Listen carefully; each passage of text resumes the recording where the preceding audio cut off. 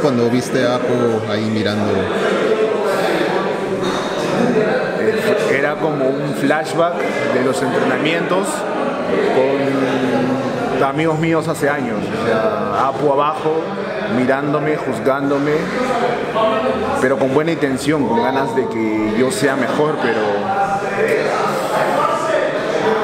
no lo pude controlar. No, no, me, hay algo en en mí, el orgullo pudo más y no, no me pude controlar y eso, hizo, y eso hizo que, que, perdiera, que perdiera el control totalmente de mí y perdiera la lucha. ¿Crees que sin la intervención de Apo habrías podido ganar la lucha? Yo creo que sí, yo creo que sí. Estaba a punto.